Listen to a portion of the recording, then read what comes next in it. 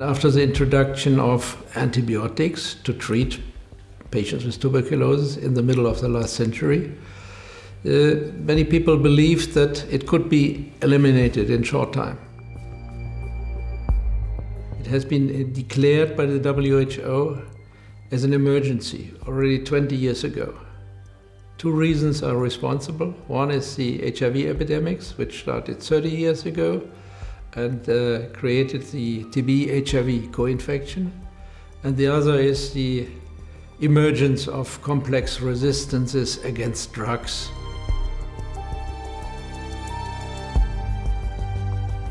If we look at the whole region, we estimate annually 78,000 new MDR-TB patients but of which only 30,000 are being diagnosed. And of those being diagnosed, only 50% are being cured. So we are indeed speaking about a time bomb.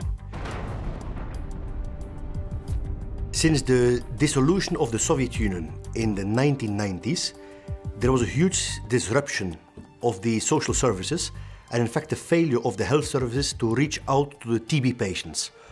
That coupled with a very irregular distribution of the drug supply created really the multi-drug resistant tuberculosis and it spread in many of the former Soviet Union states.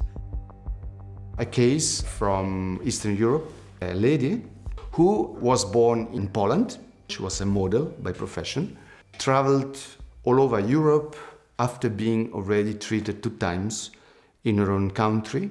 It became clear that she was XDR basically resistant to all drugs, but unfortunately, then, then she died at the age of 35 years.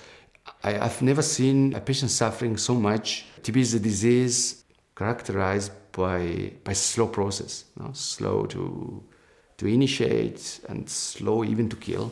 And of course, during all this time, they are still uh, transmitting infection.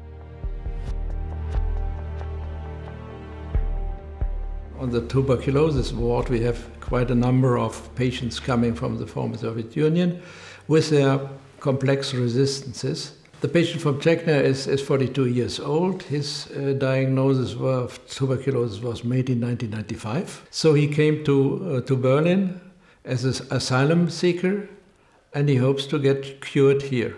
But it can be assumed that he had no big resistance patterns in the beginning but that these resistances were created during the several treatments he received, but all inadequate. The problem is that he has a resistance against the main drugs. Uh, we have to treat him with second line drugs. These are not very efficient compared to the first line drugs, and they have a lot of side effects. If he will be treated appropriately, and, and, and he is cooperating at the moment very good, so he may become closed and uh, maybe even uh, become treated successfully.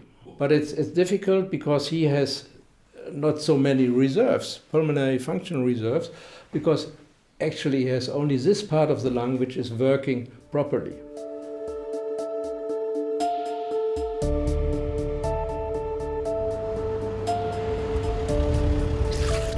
Well, we're here on the UK's one and only digital mobile X-ray screening unit. This is a service that we've been using since 2005. This service is quite a, a good example of an international collaboration because we developed this idea in partnership with the Netherlands.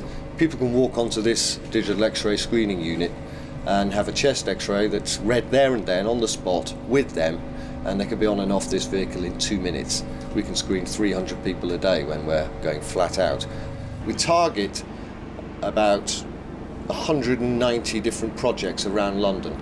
Uh, that would be hostels, residential projects for homeless people, day centres, drop-ins, soup kitchens, projects that support people with substance misuse problems, alcohol dependency, uh, crack cocaine, heroin use, and uh, projects that work with people with a prison history.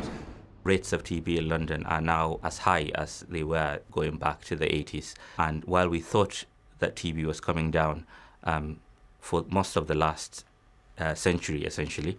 Um, since the late 1980s, TB has been increasing in the UK, with rates in certain parts of London now exceeding certain parts of Eastern Europe and even some parts of sub Saharan Africa.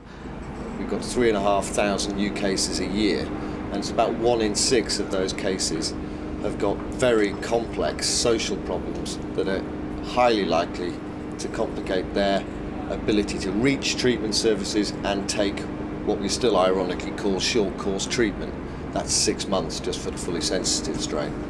As far as the emergence of drug resistant strains in the population is concerned, this is a huge challenge for us. A third of the cases that we work with are now drug resistant, and over 10% of those have got MDR disease. Uh, at the moment, on the books of uh, this service, we've got 55 cases with multi drug resistant TB and four with XDR TB, extensively drug resistant TB.